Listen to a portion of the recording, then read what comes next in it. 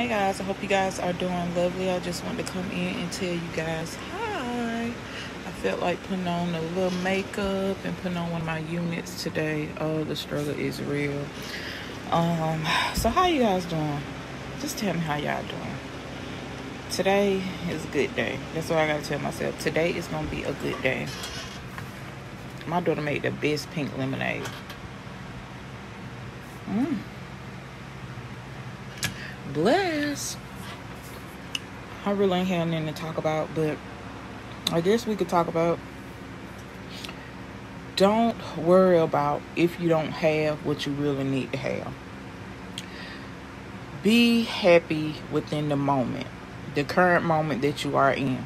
Be grateful for the current moment this is the season of people wanting to, you know, shop for Thanksgiving. Y'all, I'm not even gonna cook big on Thanksgiving. I'm cooking, oh, you know, a small meal. Um, stuff like potato salad, make some barbecue slaw ribs, do some hot wings, may fry a little chicken wings. Gonna do dressing, baked macaroni and cheese, and my daughter gonna make some sweet um, potato pies and i'm also gonna make some yams with marshall marshmallows in them and i probably get like one or two cakes and some ice cream. But i want to tell you don't worry about if you can't afford to have this traditional meal that everybody is gonna be cooking you know, I always try to think about people that don't have, you know, like the homeless, you know, are they going to be warm? Are they going to have enough food to eat? Um, or do they have family members they going to come out and bring them something to eat, some, you know, some blankets to keep warm or something to drink, jugs of water? Think about that when you get in your feelings and you thinking like, oh, I wish I had this, but I ain't got enough to buy this and do this. Think about people that don't have it. A lot of times when we worrying and we doing all this whining to God, praying for these things that we really don't need at the current moment. I always think about what you have that somebody else don't have. I got a roof over my head, I got lights on, I got running water, my house is clean, I got food in the fridge, you know, I'm comfortable, I got Wi-Fi.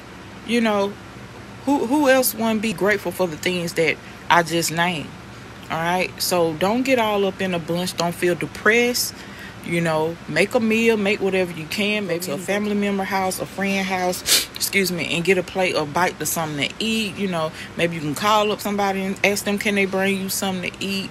Don't stress. Like y'all i'm really praying to god. God please hear this prayer. I'm really praying to god that people really don't stress over the holidays because we really have been through enough y'all. And i know what it feel to be depressed on the holidays. And i can honestly say that i'm so grateful that i'm in my right mind and i'm feeling fabulous. Do you hear me? I'm feeling fabulous within within side you know. And i just thank god for that. So that's all I want to come on here and tell y'all. Y'all just be grateful and be thankful for life. Um, be grateful. And I actually have this on the board in my dining room. I wrote, um, what, what are you thankful for? And it made me think about, um, dang, what's her name?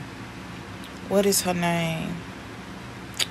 Oh, oh, I can't think of her name, y'all. It's a YouTuber. She has the pink hair um, she know who she is. I probably screenshot and put her um that's what I'm gonna do. I'm gonna screenshot and put her YouTube channel up here. Shout out to her because she's been doing what are you thankful for, and it really, you know, I always, you know, be grateful for the things that I have. But I also, when I seen that video, you know, I went to my children. I wrote on like one of our boards in the kitchen, and I put up what are you thankful for. And my daughter, my son, haven't noticed it because he already started playing. Um sports and he been having scrimmage. They haven't had their first game yet but he haven't seen it on the board.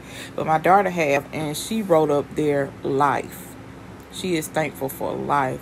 A lot of us be worrying about the wrong things y'all. We got to be grateful for breathing air and waking up for the next day. I will see you guys in the next video. You guys be blessed remember what I said and go check out that YouTuber who I just showed y'all, Miss Pam.